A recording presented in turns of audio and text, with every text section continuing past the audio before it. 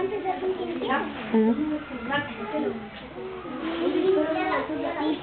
me. My name is Ximena.